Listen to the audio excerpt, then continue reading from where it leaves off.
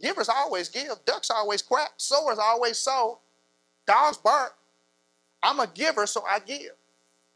I'm a tither, so when you give me a dollar, I'm going to tithe that dime on that dollar. That's how rich we are. That anything we ask of the Father, Jesus said he will be the one on the hook to get it. How much more prosperous can you be?